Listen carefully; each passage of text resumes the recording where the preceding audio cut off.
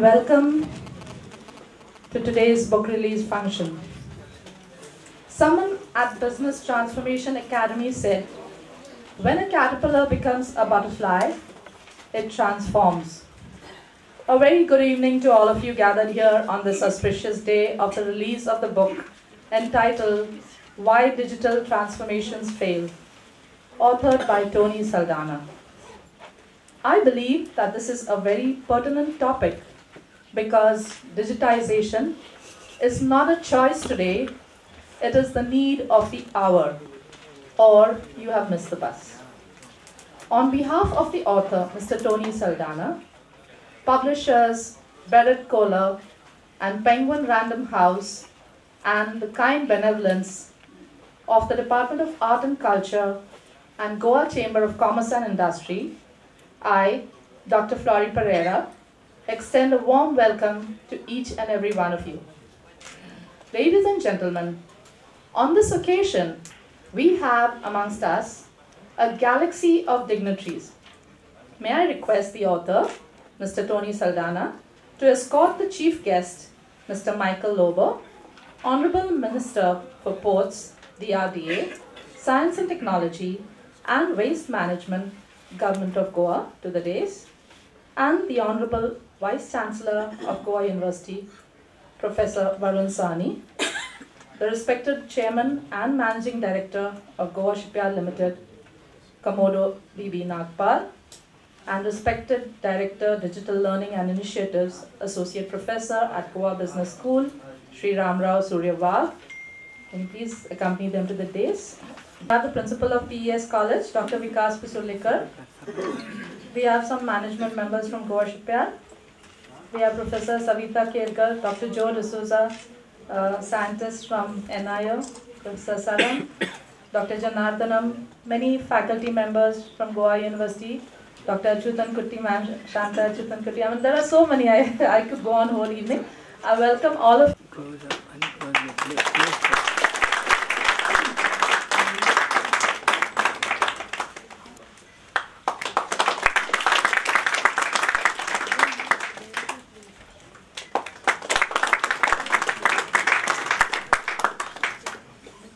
Malan was to kindly welcome Director General of GCCI. Uh, he's sitting right on the back. is a best-selling author, board advisor, and Fortune 100 company consultant with deep operational global business services as well as information technology experience. Tony has over three decades of international business expertise in the US, Europe, and Asia.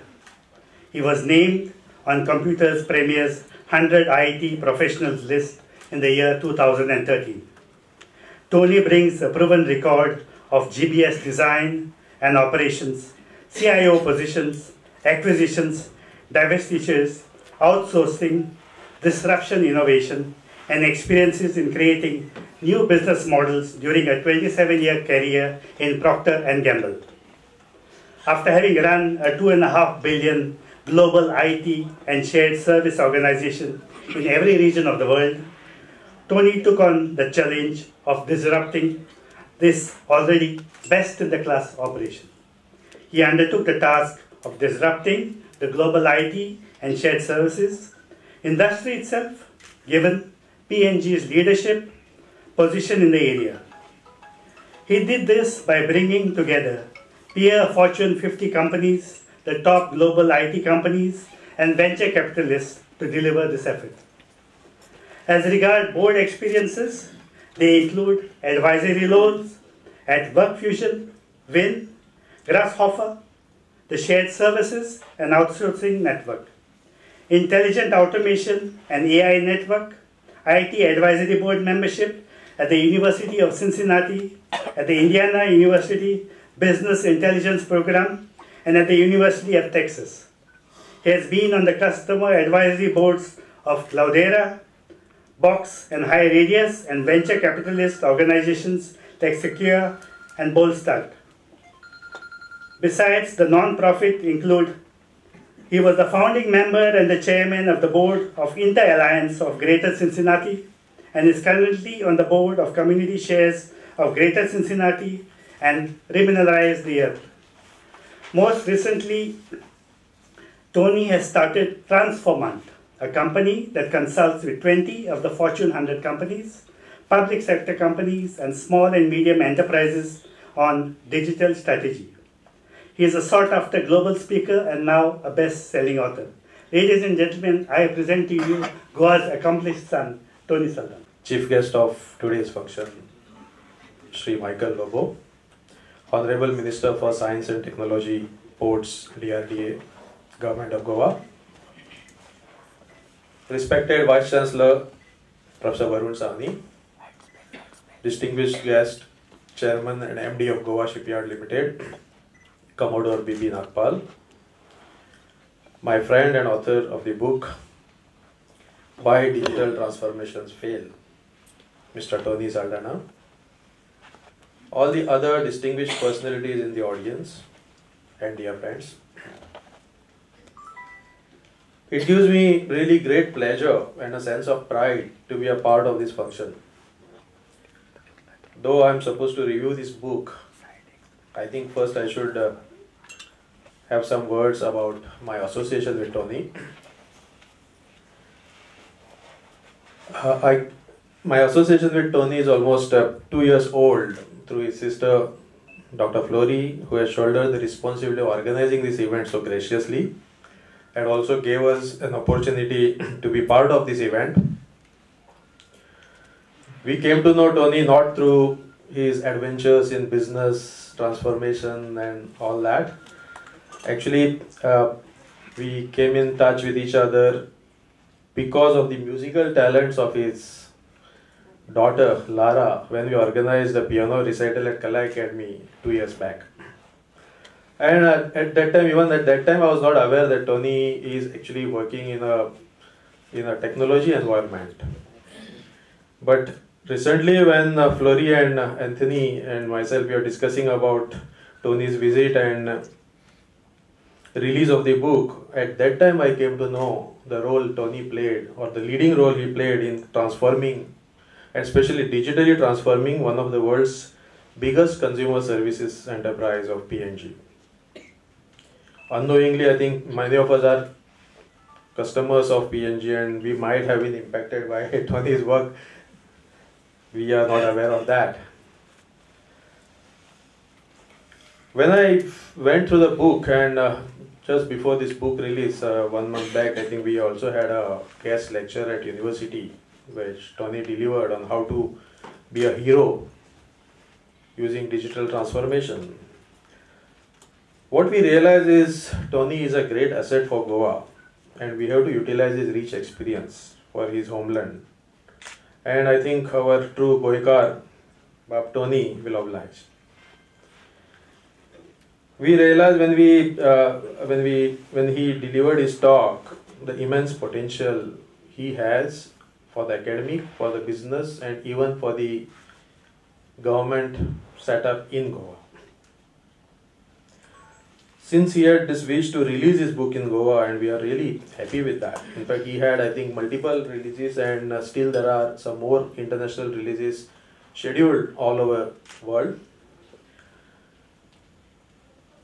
We have, we could, means we suggested that we'll have a tie-up with the like-minded organizations, and that's how I think Goa Chamber of Commerce, Department of Science and Technology, and eventually even Director of Art and Culture also roped in and uh, we are really happy that we are having this event today. On the day of his talk at Goa University, he presented me with a copy of this book and uh, I immediately started reading that book. At that time, I was not having any idea that I have to talk about the book and I had already spoken about this book at multiple uh, occasions or with my friends, but not at a public uh, uh, forum like say this.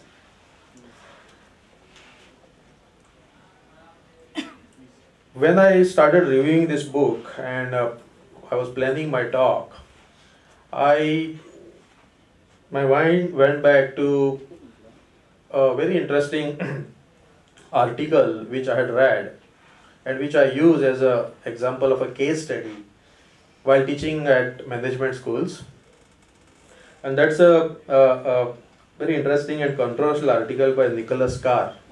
I Tony might be uh, aware of him. I think later on he became editor of Harvard Business Review magazine.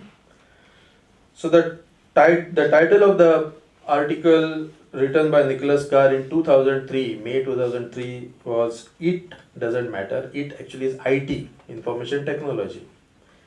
And this became one of the most controversial and most popular article about use of IT in business. And it, it generated a lot of debate and the subsequent issues of HBR also had lot of views supporting and countering his ideas and uh, basically what I think he proposed was at that time in 2003 IT was become so popular he said that we have to think of IT as a commodity and not as something which is a competitive advantage. He gave a lot of examples about railroads and other things, which rather than having proprietary, we are sharing. Same way IT has to be shared.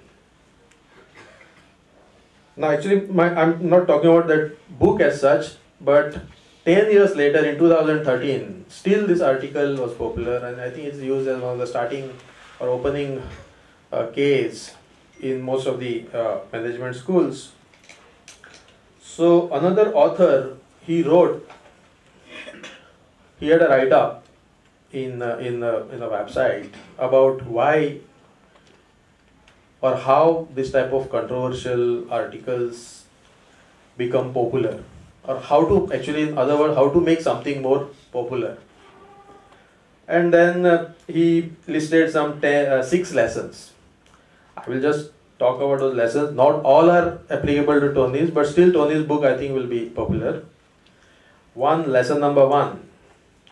Use a provocative and controversial title. So if you see the title of tony's book also like just like he says it doesn't matter or it doesn't matter same way here we see digital why digital transformations fail.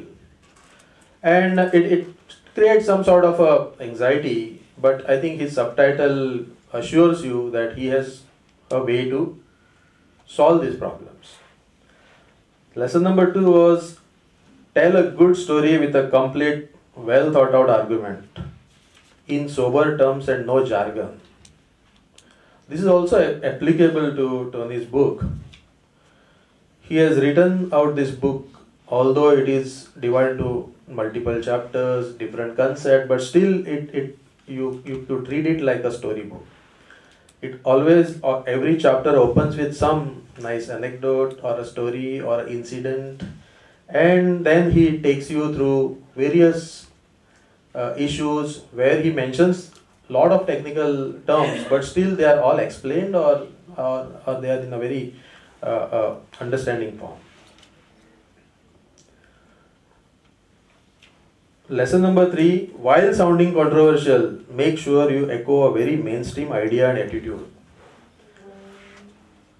Lesson number four make sure you use convincing historical analogies, even if they have nothing to do with the topic of discussion. So, in this case, Tony a lot of historical analogies, but all of them are relevant if if uh, if those who have read this article, it doesn't matter. He uses a lot of historical analogies like horse cart and all, and then there are authors who have said that no, these are not relevant in this uh, uh, uh con- context. Lesson number five: ignore examples do- that don't fit your argument. Actually, don't even bother with any example to support your argument. But here, I think Tony gives a lot of examples to support each and every statement he makes. In fact, at the end, in one of the last chapter, he has given hundreds of uh, incidents that will become reality, like using AI, deep learning, and all these technologies. And here he has used several examples related to the business context and use of information technology throughout the book.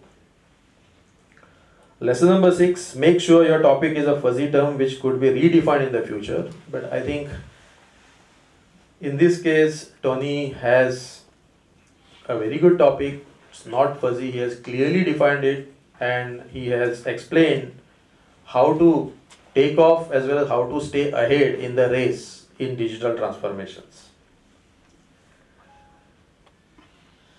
This book really demystifies a lot of jargon associated with technology and shows how to effectively use this is one of the important uh, term exponential technology to create exponential organization using digital transformation in a very lucid jargon free way. That could be understood by anybody. As uh, anthony mentioned the book is specifically about how he led the digital transformation effort at P&G Many of these exponential technologies, in fact, we are also discussing that some time back, are ready and some are evolving and have been put to use separately. And as I said, he has given examples of all this. But very few books describe how, how all this can be applied to digitally transform a large multinational corporation successfully. So the real problem was many of the books which related to exponential technology are related to design of products or startups and so on. But something as complex as Procter and Gamble, which present which is present somewhere I think in more than 108 countries, how to manage the transformation is a very complicated issue, and he has explained it using these technological terms. In fact, he explains the five stage transformational model, and I think maybe Tony will be able to better explain it later which was followed by his, uh, his group. As he says, and as the data also uh, uh, proves, that more than 70% of such digital transformations initiatives fail. And even when I teach software engineering, we always start with a very sorry uh, state of affairs, saying that it was earlier, I think, only 18% of projects could succeed, and in overall it could be around say 30 as mentioned in the book also. But 70% projects fail. In the title this book uh, in the title of this book these words the surprising disciplines of how to take off and stay ahead these are also important. And in fact this use of analogy where he makes use of aeroplane analogy design and take off of aeroplane is important.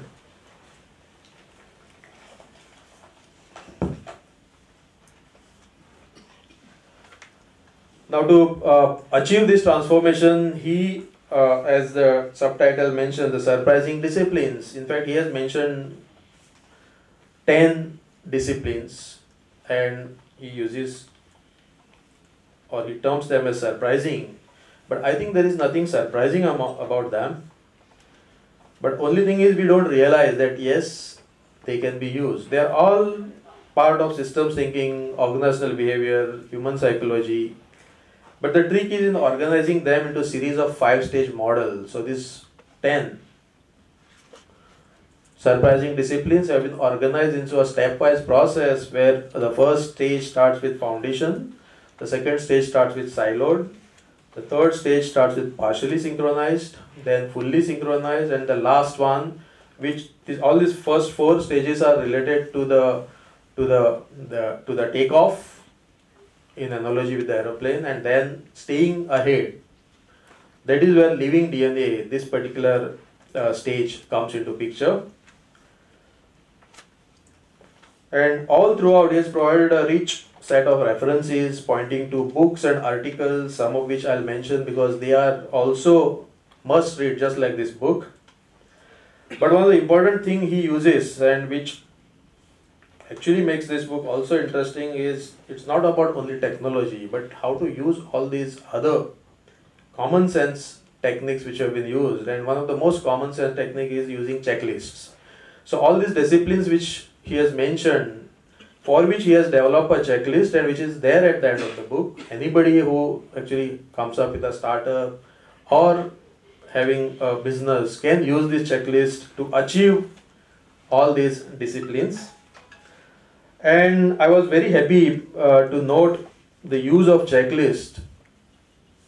And I recollect reading and going through a book by Dr. Atul Gawande and I think he has also mentioned it. So when I started reading his book, I was wondering why he has not mentioned Atul Gawande anywhere, but later on, immediately in first few pages, I found another uh, uh, Indian origin uh, medical practitioner who works in the US. He has written this excellent book called Checklist Manifesto, which actually explains how checklists can be effectively used.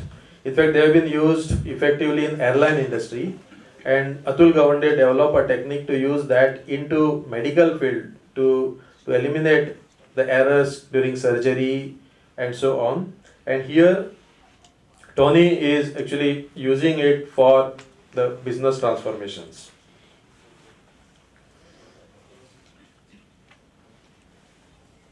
Another important uh, influence I think Tony had in this book, and which I think we should also try to find more about from uh, uh, is about the works of people at Singularity University.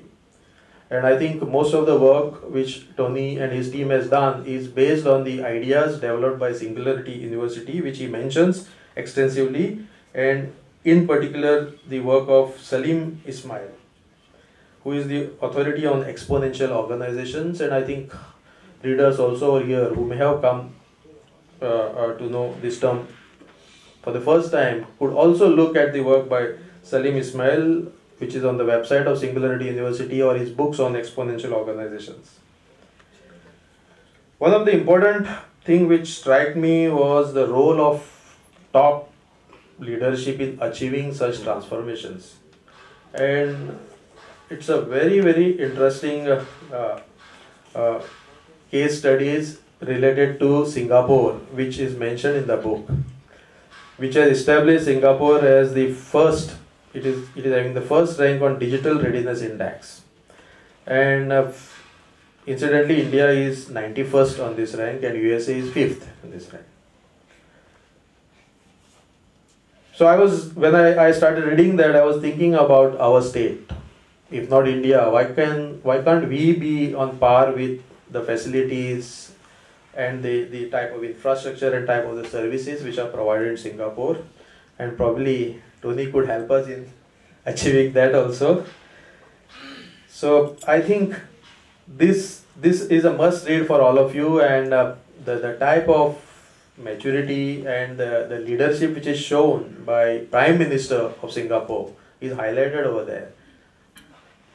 Prime Minister of Singapore was actually a computer scientist and in fact I was really happy to see that he even wrote a piece of C++ code and he has put it on Facebook to prove that he is really a programmer.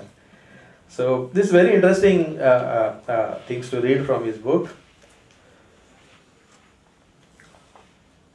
And uh, same way, when he spoke about uh, top leadership, when he actually uh, started leading this transformation, digital transformation his company, he incidentally worked along with his uh, team without having his own exclusive cabin. He used to sit with workers, and that's also a really important thing to do. Some other interesting things, like some of the emails which used to get from the assistant of his other counterparts in other companies regarding scheduling and other things, are not actually emanating from human beings but from the robots which are working as admins or the assistants. And that is how he also realized that there is a lot of power in all these technologies. Another interesting uh, uh, story is about transformation of newspaper washington post after founder of amazon jeff bezos took it over and how he made it turned into tech savvy organizations as a thought leader tony thinks that the following are the exponential five technologies that will impact our life and business. We were just talking about some of them some time back artificial intelligence and deep learning, smart process automation, a big field, blockchain, robotics and drones, and special functions technology like IoT, 3D printing, and so on. And I think he has talked about all of these. Another very interesting approach which is taken by these top-notch organizations was we usually expect that whatever project we start will succeed. But I think they have realized that some of them eventually fail and they have to fail. So this striking approach of 10, 5, 4, 1, you will be able to read that in the book, where out of 10 projects taken for transformations, 5 are discarded at some stage. 4 will give 2x or 2 times or 4 times the value. And out of those 10 only one of them will give 10, 10 times value. And that is very interesting. And maybe after some years some of those projects which were discarded can actually render value. So when i look as i mentioned in the uh, some time back regarding singapore's case again what is the worth of this book for goa I think Goan students, faculty, entrepreneurs, as well as corporates and government decision makers should read this book to understand how to handle the digital transformation. If we see most of our government websites are in dismal state, unresponsive. None of the services fail, uh, none of the services work as per our expectations. And uh, it's not only the front end services like websites, but I think we have to actually transform many of these services first and only then offer the, the front end access to the user. And maybe I think we have to take help of Tony in this context. He has already gifted a book to the world. Goa need to give an important role, as I said, to Tony to share and utilize his expertise for the benefit of Goa.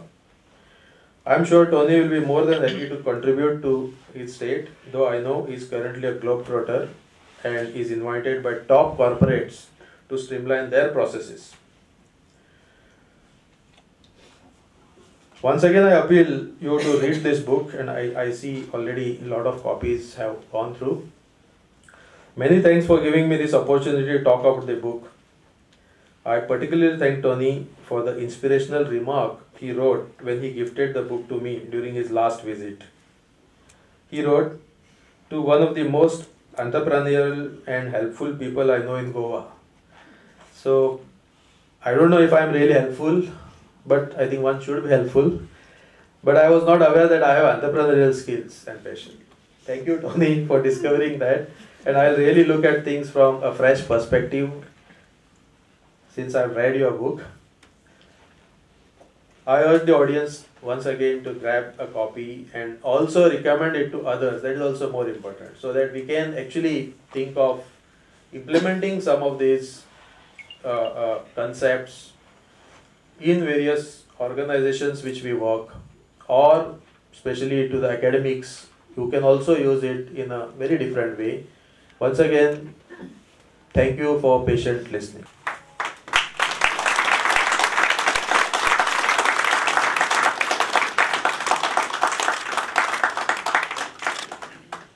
I want to make just a couple of points here today. One is that you heard a lot about digital and technology, but this topic is not something for the IT organization. This topic is something that every one of you, in each of your jobs, this affects you. And the second point I want to make to you is that Goa as a, a, a state and India as a country has a unique opportunity to take this digital transformation and win. And so this is why I believe digital transformation is important, as you can see from the slide there, to go on. Now, um, in writing the book about five years ago, um, I talked to 100 different CEOs, leaders of various companies, um, and I asked them, what does digital mean to you? And uh, so some of them, you know, like you heard from uh, uh, Ram Rao and others, talked about how you know, artificial intelligence is going to transform uh, the entire world. And then there were others that said, oh no, it's okay. It's, it's all the stuff that IT, this, this IT function and PC support does, right? So maybe, maybe they do it really, really badly. And this is really what I think they had in mind. Welcome to the Automated IT Support Center. Our menu has recently changed please listen to all the options before selecting. For email related issues, please press 1. For printing related issues, please press 2. For server related issues, please press 3. For database related issues, please press 4. For intranet related issues, please press 29.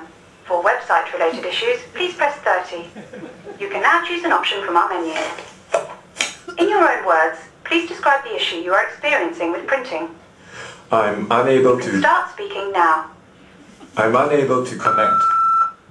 Okay, so may, maybe the IT organizations are not quite as bad as that, but for many people, that's what digital is all about, right? And as I said, that is not what I want you to take away.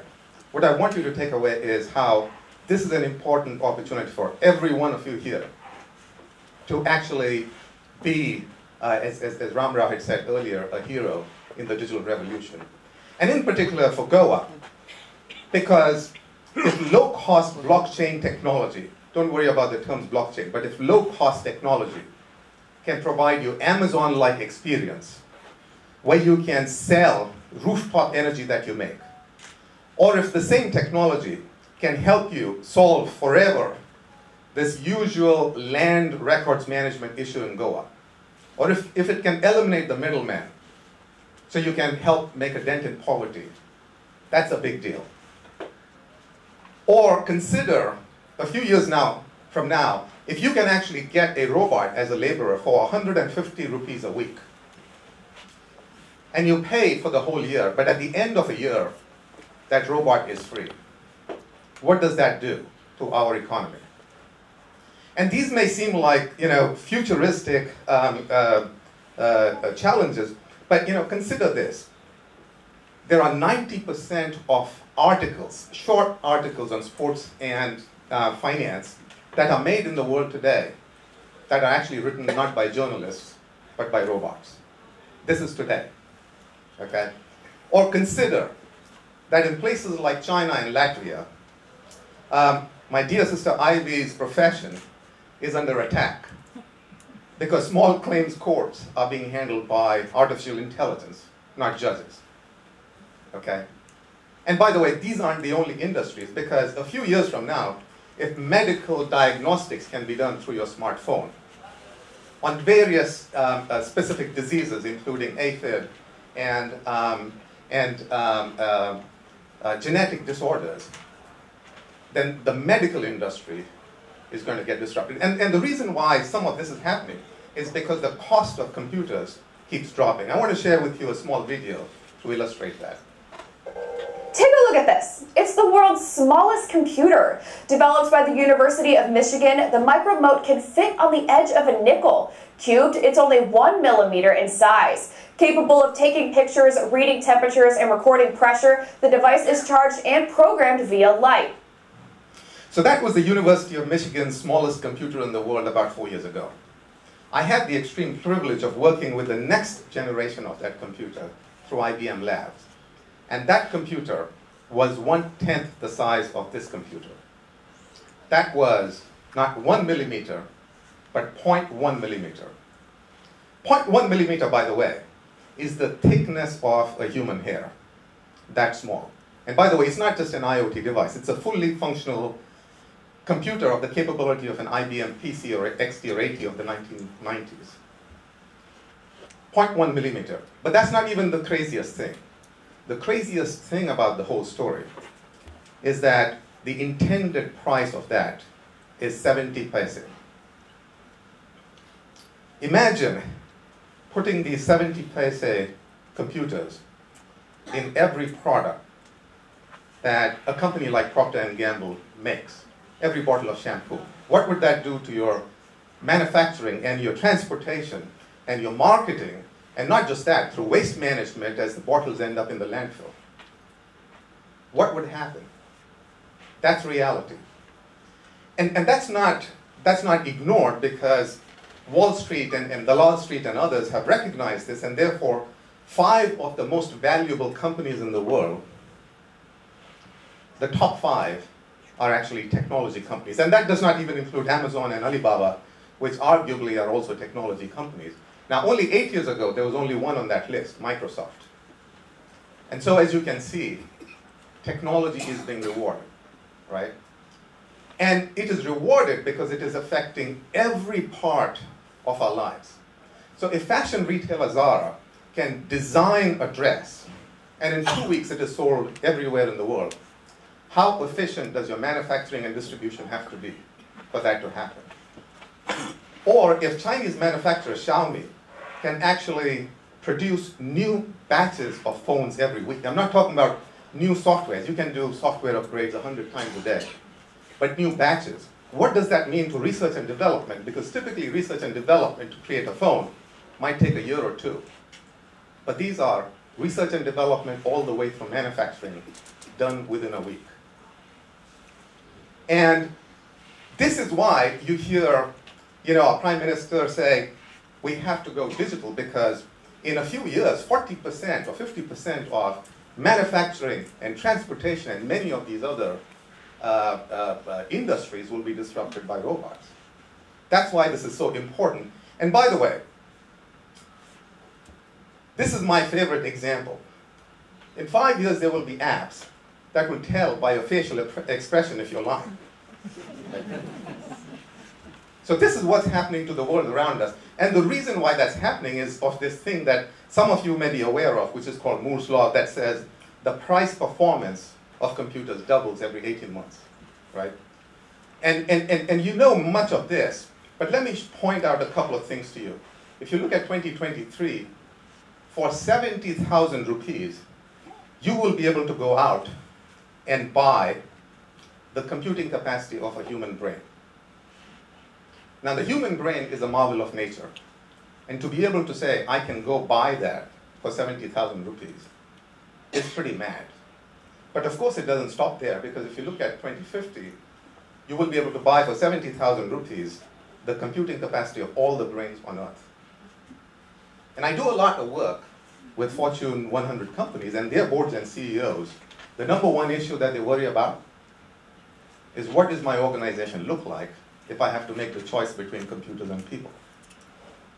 Right? And the reason why all of this is happening is because we are in the middle of a revolution, an industrial revolution. So when I first heard about this about three or four years ago, I said, wait a minute, I remember going to school and, and learning about the Industrial Revolution. What do you mean fourth? What happened? You know, was I asleep for the second and the third? And as it turns out, no, I wasn't, or maybe I was, but the first one is the one that you all remember, you know, steam engines and, you know, um, other stuff, uh, textile in the UK. The second one was the creation of electricity. The third one is the creation of the internet. And the fourth one is where one technology, digital, is eating all of the other technologies. So this one is different. It is not about one technology. It is about how that technology changes medical technology, and it changes mechanical technology, and it changes social technologies, because that's what Facebook is all about. So this is a different one, right? And then when people talk about digital disruption, that's what they're talking about. They're talking about how if you were a good retail kirana store and suddenly your competition is, you know, Flipkart somewhere, your entire business is gone. And not because you did something wrong, but you were perfectly set up to succeed in the third industrial revolution, but you are not successful in the fourth. That is called digital disruption. And digital transformation is the rewiring. So what do you do as a Kirana shop to change the way you operate so you are successful in the fourth industrial revolution? That is simply what digital transformation is. Right? And, and I learned that, as Surya, uh, as, um, as uh, Ramrao was saying, uh, four years ago at Procter & Gamble when I was talking to these hundred different CEOs, and, and this is an email chain from uh, my exchange with the CEO of a company saying, hey, um, you know, let's get together and meet. And he said, yes. And I said, I'm not available next week. On This was the April 10th. And he said, fine, I will ask Amy, who I assumed was the secretary, to set it up. And then his secretary basically sends my secretary this message saying, happy to do something, does Monday, April 20th work, so on and so forth. And, and I apologize because the screen is a little, um, uh, the, the wording is a little small. But I want to point out a few things. When I say on April 10th, I'm not available next week, none of the options that are generated by, you guessed it, Amy was a robot, none of those options were the following week. Again, this was 2015. And then you ask yourself, which is one of the most sensitive roles in a company? it is probably the secretary of a CEO. And for that to be done by a robot in 2015, that tells you that technology exists to do stuff like that, right? And that's why, you know, I, that's when I really started to think about how can we make this happen. And then I led a, an organization at P&G to help us do that. And that's what brings us today. And, and, and back to my key message is that digital transformation is not about IT. Digital transformation is about how each of you, if you're a teacher, you have to, you don't have to become a programmer, but you have to understand how IT will disrupt your area, which is teaching, and medicine, and, and so on and so forth. And so uh, I thought I'd kind of end by sharing what I believe Goa needs to do in the context of this. And the first thing we need to do is every industry that's important to Goa, starting with um, the honorable minister's industries here um, that are so important, science and technology, waste management, you know, and, and, and, and Commodore Nagpal, shipbuilding and education uh, from the vice chancellor, and then agriculture, mining, tourism, all absolutely need to have a plan because those industries are the lifeblood of Goa, right? The second is industry leaders, business owners, need to understand how to leapfrog on digital technology, and I will come back to that later. And you have to experiment. The only way to learn this, you're not going to learn this overnight, is get started, make mistakes, and then keep learning, right? And then whether you're a lay person or a leader, you have to educate yourself on these technologies. But most importantly, I highlighted in yellow that I strongly believe that this is an opportunity of historic proportions for Goa and India. And here's why I believe this. If you look at history, the first, second, third industrial revolutions, the business leaders that became really rich at the end of that weren't good at technology. They had only two characteristics. They were open to change, and they had the risk-taking ability to try something. So you do not need individually to be programmers. You have to be open to change. And why do I believe Goa in particular, or India, is, is you know, poised to win? And it's, it's simply this. When you look at the world, when you talk to a Google or a Facebook or an Amazon, most of their software development comes from India. Goa, uh, India is the software factory for the, India is the software factory for the whole world. India also has people that are probably the most eager to learn and the most change acceptable people. That's us. That's who we are. And so I think this is an opportunity. And, and really, the book is an attempt to say, you have to grab the opportunity, but be aware that 70% of these things fail. And so here are a few checklists to become successful, right? So it's as really as simple as that. And I honestly believe that we can all be successful. I honestly believe this is a historic opportunity for us to be successful. Because if calendaring can be done by a robot, if you can have, you know, judging small claims courts be done by robots, or, you know, if you can basically have comedy be done by robots, smart, hungry people that are open to change, like you and I here, can certainly be very, very, eh, eh, be very, very successful in this industrial revolution. And by the way, I wasn't joking about comedy being done by robots. I wanted to end by showing you how comedy can be done by robots. Here you go. Lolbot is amazing at riffing as well, so like this is a really great opportunity. So if anyone's got any topics, just yell them out. Whoa, okay, I heard global global warming. I have been programmed to operate in temperatures in excess of 90 degrees Celsius. But you guys are. Lolbot uses stochastic modeling to pull data from this enormous library of content that's available to him, thousands of hours of shows, and it uses deep learning algorithms to, to tease out the meaning from those comedy shows and try and generate new jokes. See me, Lolbot, at the Melbourne International Comedy Festival. Death to all humans. Ha ha ha. Ha ha ha. Thank you very much. I was quite fascinated uh, by reading Tony's book. In fact, uh, he presented the, this book during his last visit. You know, uh, a few years, uh, I think it was sometimes in December last year, uh, government had uh, told us, in fact, to spend some part of our turnover on digitization, artificial intelligence, IoT, and start working on these projects. The first thing was, you know, uh, since we are from the shipbuilding industry, and uh, the first question was, what is this in artificial intelligence? When you are used to day-to-day work, how this IoT and what is this coming in our way, and will we be able to meet this target or not? We have certain memorandum of understanding with the government that we will do this, this, this, end of the year. So we started searching, what is this? Generally, I ring a flurry when you know uh, leaves in my garden becomes yellow, or you know sometimes I see some insects have eaten some leaves. I'll ring a flurry and say something is wrong with these leaves or there's some problem. Uh, then she would tell me how to you know get this corrected. Put neem oil and you know some kind of organic insecticides, and so this time of course.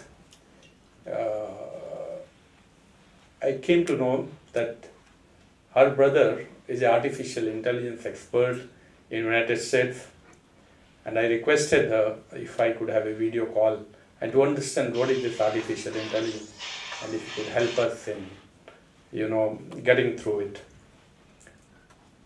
It so happened and um, uh, Mr. Tony was very kind and we had uh, two rounds of video conferences to understand what is this artificial intelligence.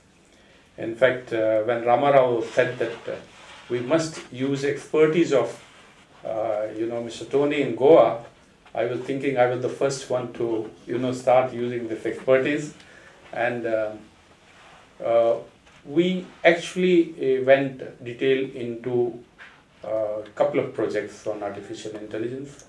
One of that was conditioning monitoring of uh, marine engines on board offshore patrol vessels that we make. Another was, of course, they were very small projects. And with his support, we have been able to place order on one of the firms to do this work for us. Uh, when I went through this book, that was part of the uh, story, which uh, or part of the thing where we took Tony's help and uh, thank you very much, sir, for this great help and assistance that you gave us. And uh, in fact, we sent our uh, requirements to him, statement of requirement, which we generally follow before tendering out to see if what needs to be added. Uh, his book rightly says that, uh, you know, what we actually feel IT, IT is different from digitization, IT is different from artificial intelligence. And we actually used to three, uh, see in our systems when we have ERP or SAP system, our process of financing, accounting, HR, design, they get covered in the SAP or ERP systems, most of these. But when we went, uh, you know, through this artificial intelligence, when I read his book, is much beyond that. That is when actually process start learning and starts helping you to solve your own problems. Couple of instances we used to take a lot of time. Then i thought why not to use this artificial intelligence model in our shipyard? In a very very rather than thinking of big erps employing uh, huge consultants and try to offload or subcontract the job generally there is a tendency when you see a program too big the best thing you find is let us subcontract this job to a consultant and let him work out what is the requirement our company needs. So he comes and interviews every one of us. You tell us what is the gap analysis, what do you do, what do you want, and then finally he tells us how you should work and he frames the requirement. But probably uh, what Tony's book says is, you know, it's essential uh, that a leader must understand very clearly, and the time is that leader has to understand digitization much deeper than using the consultants and outsourcing the job. So, taking a clue, I mean, when I read this book, we thought why not to apply these small, small rather than hiring big consultant for big systems. Why not to apply these, you know, into small, small work that we do. Medical bills takes time. If we can reduce that three months of medical bill to a man to 10 days, 5 days, 2 days, 3 days, you will feel very happy. A man coming from 20 kilometers for a bill to Goa shipyard for 500 rupees medical bill to be cleared, spending so much, can we reduce the time? In fact, we did couple of experiments and I'm very happy to say that we have been able to drastically, in fact some of the employees are here and I'm sure uh, they would have finally, uh, they would have found the system much, much better. We are now getting into more and more, uh, you know, each employee going to HR department to ask what is my basic pay, how many leave are left. Now I'm only taking basic examples of, uh, you know, can we convert into a system like a robot keeps on answering that, okay, your 10 days are left, this is your, your increment due is on such and such date. There are cases where the safety in a workshop, someone is not putting a helmet, can someone, he gets a message on his mobile, uh, you are not putting helmet, please put on your helmet. If he still doesn't put, there is an announcement in the shop. If he does still doesn't put, the machine doesn't work until he does takes adequate precautions. Uh, facial recognition through and use of artificial intelligence we have been trying to use. Uh, in fact, uh, this book actually uh, came to me at the right time when I was trying to implement some of these minor changes, and these minor changes affect the organization quite a bit. Uh, so I'm thankful to you, Tony, and uh, I'm definitely, I'm sure when next time during your next visit you have time, and please visit our organization, and we'll continue to interact with you. And um, uh, I think it's, it's a great uh, it's a great read. I, I would uh, request you to kindly read. It's a beautiful book. Thanks. Minister for Ports, DRDA, Science and Technology and Waste Management of the Government of Goa, Sri Michael Lobo, the star of this afternoon, Sri Tony Saldanha, Commodore B.B. Nagpal, Nausena Medal, Chairman and Managing Director, Goa Shipyard Limited, Sri Ram Rao Surya Wagh, Associate Professor, Goa Business School, and Director, Digital Learning and Initiatives, Goa University, and distinguished audience. A very good evening to all of you.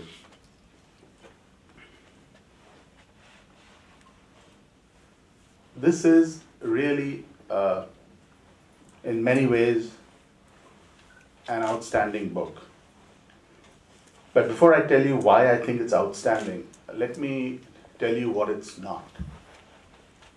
This is not a book that's been written by someone who wants to write a book. You know, there are lots and lots of books that are written by people who want to write a book. Uh, that this is not that type of a book. This is a book written by someone who really has something to say, who really has something to contribute, and who's therefore taken huge chunks of time out of what is an extremely busy uh, professional life to, to write this book. So, you know, we use the term labor of love very casually, but this really, in that sense, is a labor of love. It's a book written, and this is clear to anybody who reads this book, uh, by someone who's, who's really been in the trenches, who's actually seen this up close, and who really believes that he has an experience that's worth sharing. So it's also, in a very real sense, an act of immense intellectual generosity. Because it's, it's actually saying, look, this is what I've learned. And this is what I think my experience can possibly help you with when you go along the same journey. It's Pilgrim's Progress in that sense. Right? And that's really wonderful. There are very few books really these days written in that spirit. Um, and that shines through in this book, you know, it really comes through. Uh, and the other thing this book is not is that it's not a typical book in management studies. Because a typical book in management studies is all about coining at least three new bits of jargon, uh, preferably alliterative. Uh, there's some of that in this book too, but Tony couldn't have spent a lifetime in that field without being at least partly infected by it. Uh, so there are things that could have been perhaps said, said simpler than they have been said, have been written. But that's really not. Normally, when I sort of wade my way through books in management, and I have to, given the job I do, I sort of do that kind of stuff.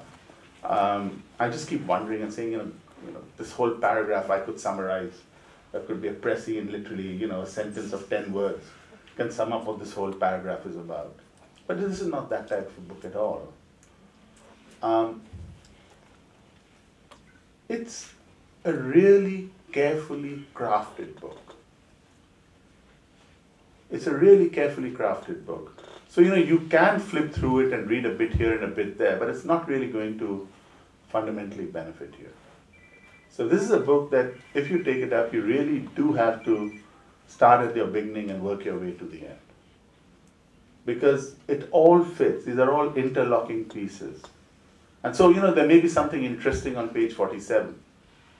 Uh, but, you know, I would, in this, in this era in which we live, where we all lack, you know, those qualities of patience that made our ancestors do great things, um, you know, I think this is also a book where you really need to have that staying power in the sense of starting at the beginning. It's an easy book to read, so don't make. I don't want to make it sound as if this is a book you'll have to struggle through. On the contrary, it's, it's an easy book to read, but it is a book which really deserves to be read from page one and read all the way through.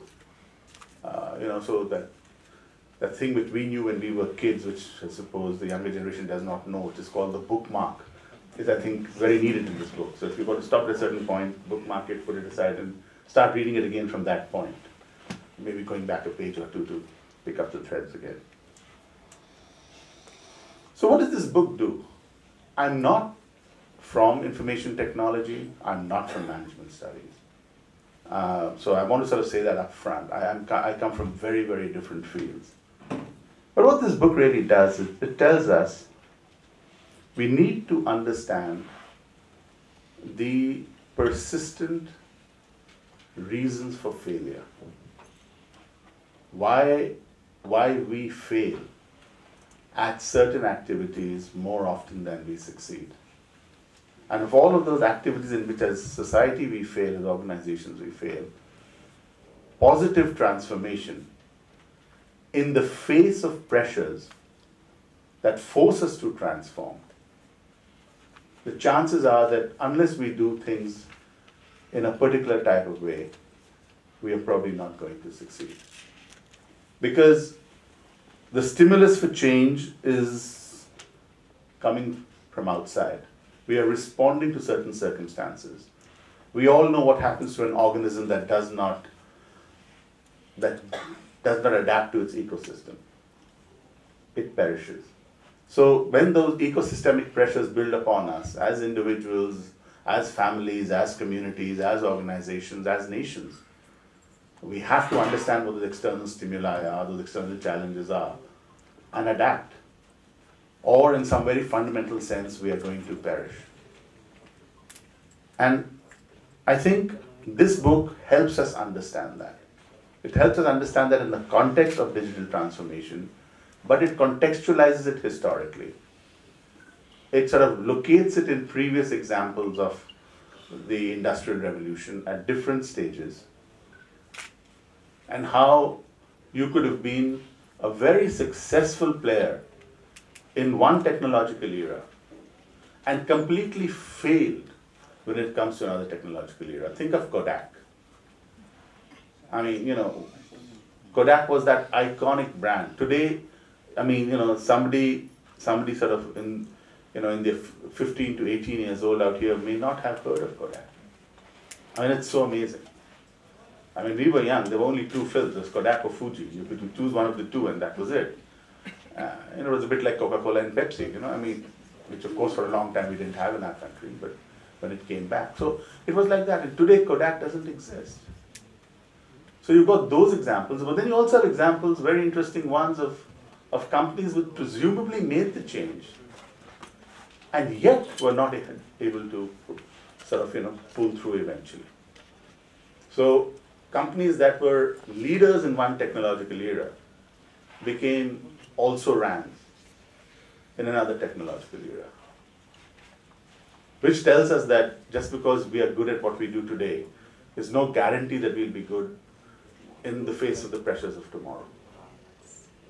And, and we, we need to understand that, and that I think also brings upon us all individually and collectively a certain modicum of humility.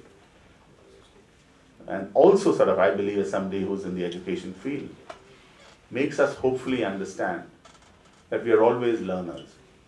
And when we stop learning, when we lose the capacity to unlearn, and we do not have the fortitude to relearn, we are going to essentially become, in some ways, redundant. Most of the people of a particular age in this room know that every time they face a particular type of device and they find that their grandkids, you know, who are eight years old, are, are able to sort of adapt to that device in a way that they simply cannot. But that's precisely about this process of not just being able to learn, but also being able to unlearn and relearn. And that's not easy. And the older you get, in fact, the tougher it gets. If it's true for us as human beings, it's also true for us as organizations. That's the point to remember. And as organizations, we keep banging on about the need to be innovative. But let's also accept an organization is a social institution. And a social institution implies tradition. And tradition is as important to any organization's DNA as innovation is. And it's that equipoise between innovation and tradition that actually sort of leads to organizational existence. And it becomes extremely difficult at moments of transformation. What do you jettison? What do you throw out? What do you keep? What is essentially you without which you will no longer be you? And what is it that you imagine is you but it's not really you? So you can actually now you know, dump it overboard. Naval officers know this very well. When a vessel is in very stormy conditions, you sometimes have to start throw things overboard. What do you throw overboard? What do you keep? What is essential? What is not? So, so, so these are sort of some of the, the real challenges.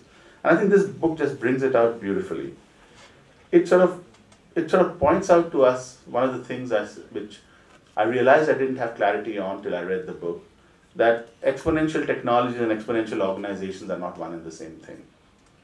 Because I sort of always had this kind of lazy understanding that an exponential organization is an organization that uses exponential technologies. And then, of course, it's not that. An exponential organization is an organization that is able to use exponential technologies in order to be able to get an order of magnitude better at what it is doing.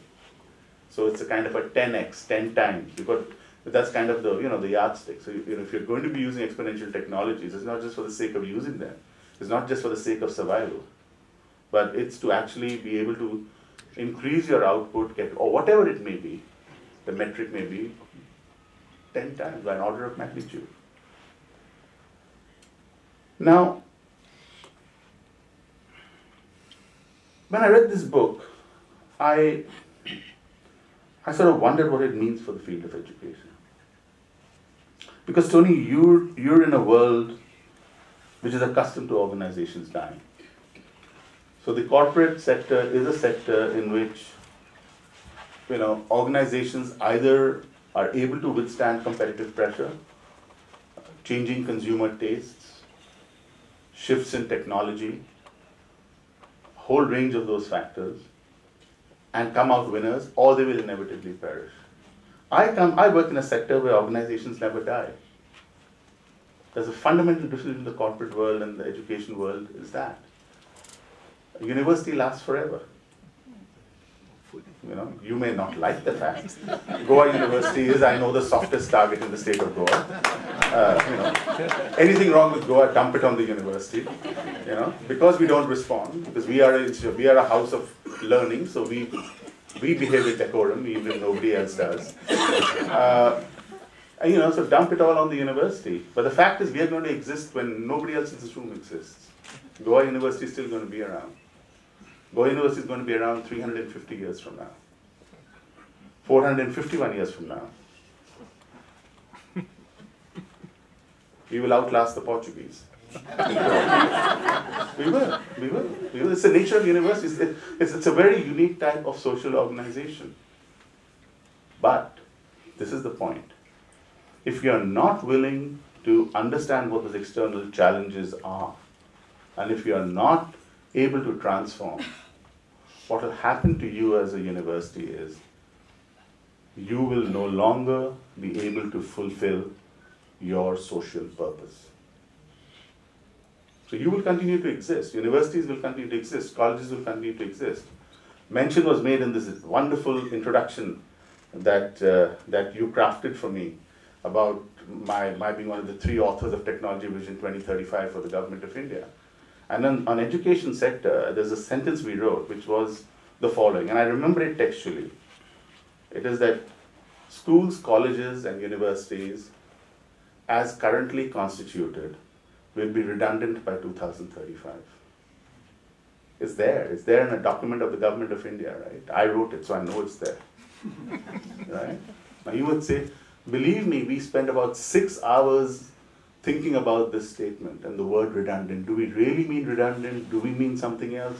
And at the end of six hours, we came to the conclusion that no, the word we are talking about is redundant. Which doesn't mean that schools will stop existing or colleges or universities will stop existing. But the purpose for which we are created, which is the production and transmission of knowledge and the associated skills, we will no longer be performing that function if we do not adapt. And therefore, I think that the job of someone like uh, my dear friend and colleague Ram Rao is very, very serious. You know, when he say when I when we say that he's director of digital learning and initiatives, it is in fact today one of the most critical portfolios in Goa University. He has the responsibility of actually looking at the entire university, university as a whole, not one particular school or department, but the university as a whole. Um, and sort of really asking those key questions. You know, what is what is it when we when we face this this digital world? This world where, as I tell my as I go around my colleges, I, I say this to teachers that we live in a technological era where just a few years from now, could be as soon as five years, certainly not more than 15 years. And this is the, one of the examples I give. The learner in Vasco, with headsets on, would be able to hear in real time, in Konkani, a lecture being delivered in organic chemistry, in German, in Heidelberg. We are somewhere between 5 to 15 years away from that. That's the reality.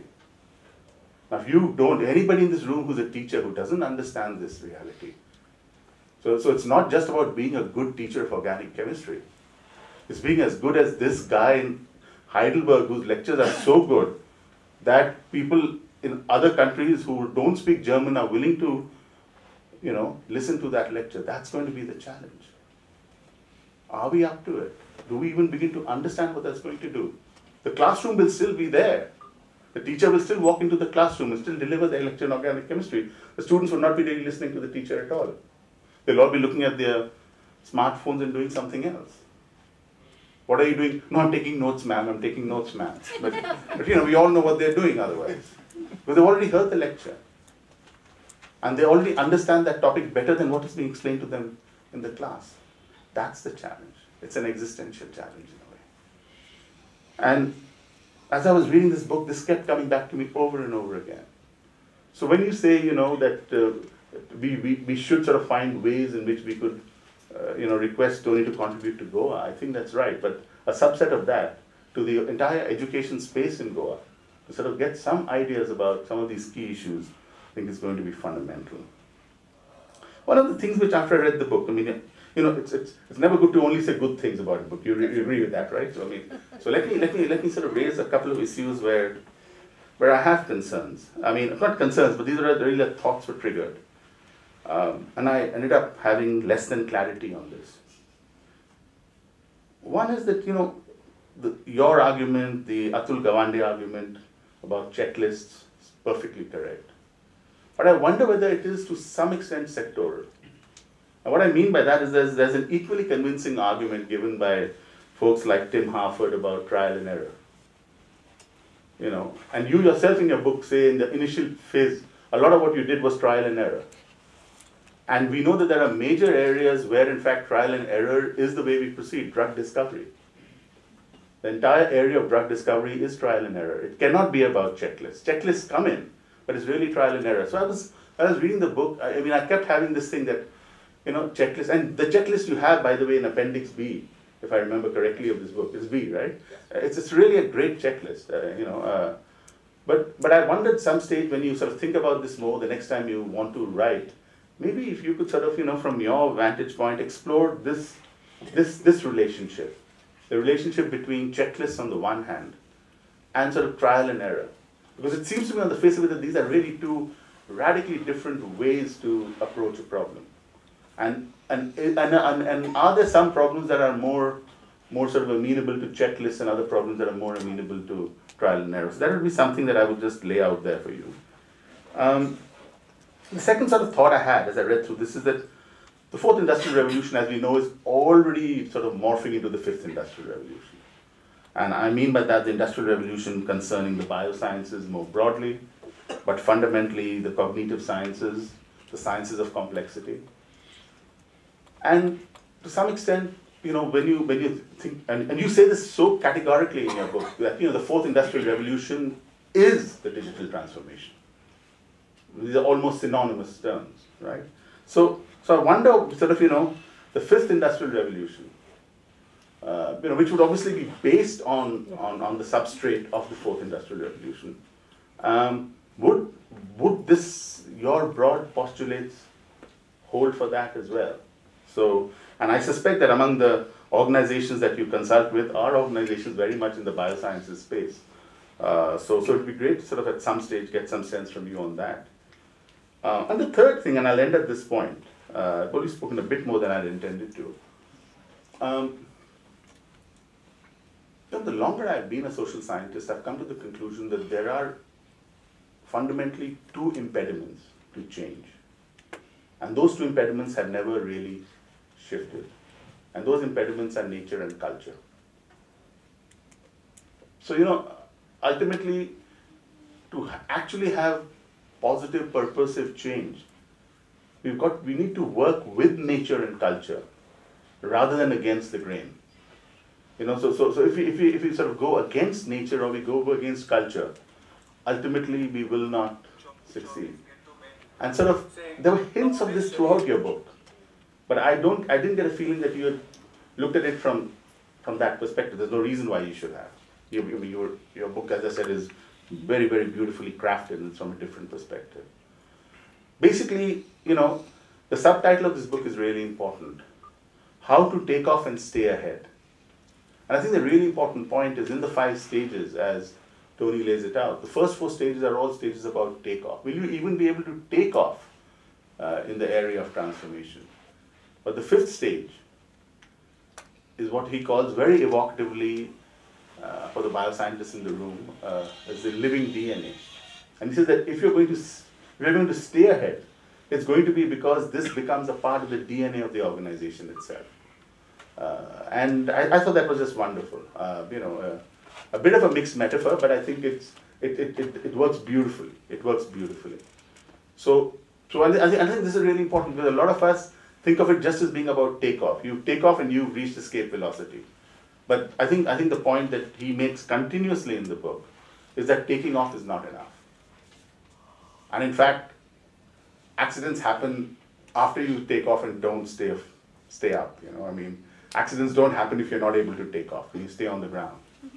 So, so, so aviation disasters happen when you take off, but for some reason are not able to stay aloft. Uh, and I thought I thought that was also very wonderful. thanks for having included me in this uh, in this event. Um, I'm deeply honored, and I also now own two copies of this book, which is, which is a bonus. Thanks a lot. dignitaries on the dais, Shri Professor Dr. Varunji, Commodore Nagpalji, Shri Ramarao Desai, uh, Wagji, and our uh, hero of the of this evening, that is uh, our very own Goan Tony Saldanha. Digital transformation fail. I think a lot have been explained by our uh, dignitaries, professor, and uh, especially Mr. Dr. Varun. He has uh, explained to us, to us everything. And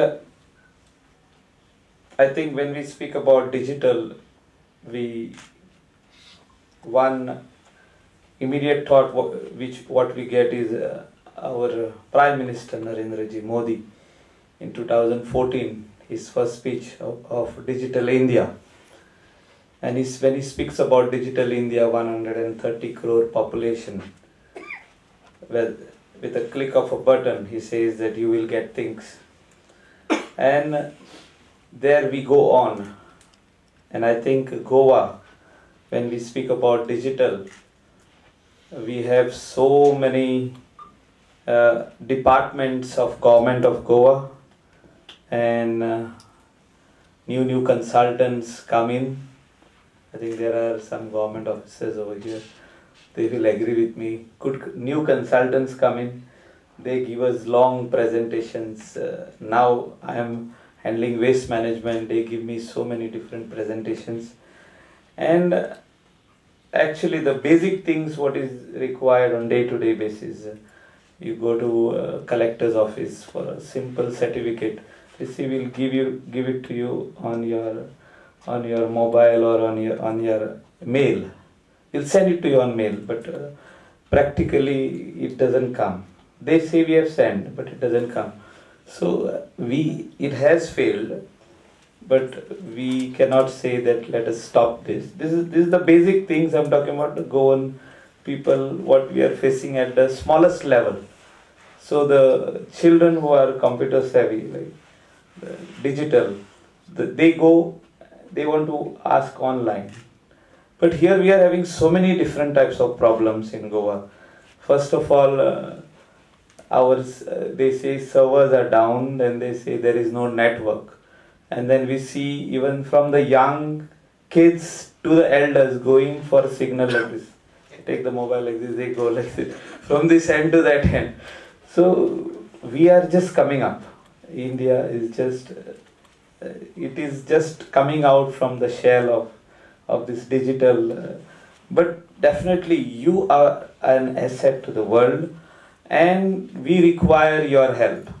We require your help not only in goa i think uh, narendra ji modi our honorable prime minister will definitely invite you uh, at his uh, official place to discuss with you because he is very um, he wants india to go digital in every way.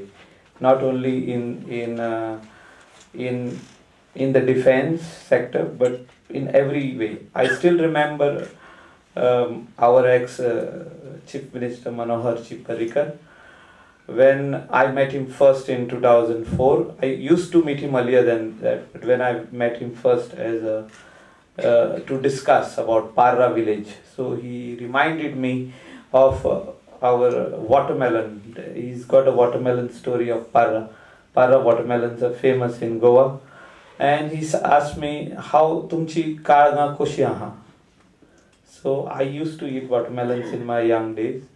सो हांवें म्हटलें ती काळंगा आहात पूण तितले लोक रायना हाड मरे म्हाका एक mean bring for me one so next day I go early in the morning with the watermelon for him at his house so watermelon was only so big earlier he used to eat so big watermelon. So he's saying, what happened to this watermelon? I said, this is the only watermelon which is available now. He said, um, maybe the, the good seed is not there now. Can you revive this? He said, how do I revive this? I asked him. So I went back to those farmers. I called a small meeting. अरे बाबा म्हटलं ती काळंगा जी हा ती लागतली ती ओढली कशी जातली ना आधी असली बाबा ती मोठी आता ती ना मोठी आता मी ते भीत ना म्हणाले सो Parikarji, when I met him again, he said, revive it, go to a good company. So you use technology. So I we took help from Syngenta. And today, if you see our watermelons back again, they are such big ones. And those real taste of those days. So it took for them uh, nearly one long year to revive our watermelons. And I think that uh, we need to preserve all these old traditions of ours there and culture, like our professor has said. And these are this is one thing which Manoharji said that this is this is your identity. Parra means watermelons. Like that we have in every village. Like we have different things, like chilies. I think chilies are very famous in where Madam stays, our Madam Kerkar stays. Chilies are fa- very famous over there. And now you don't see those chilies anymore. I think we re- require uh, technology to revive all these things and back again those seeds. Those seeds are still there and people are still growing. Maybe two, three farmers are growing, but you will find so small chilies. Earlier they were so big, very spicy, very tasty. Now the things are, those things have gone, but we can still revive them. But we require help. Likewise, I told you, like we have so many consultants coming in promising us uh, very big things but when they deliver they just give it to us they sign and they are gone and our offices suffer. We say we are digital on paper but in reality it is not true. And all the government offices uh, we we have a lot of problems uh, in every department when it comes to digitalizations. We have there are various problems, various issues and failures. But definitely, if you train, if you train some youth in Goa who are who are good in digital world, definitely they can help us. And there are good consultants also in Goa. So if we can get your expertise to our uh, youth of Goa, who are uh, small consultants in Goa who can help the government offices revive our digital uh, technology, then we will get the real help instead of we government spending thousands of rupees, lakhs of rupees to adopt something. Uh, they give us something and they just go away. It, it really does not work.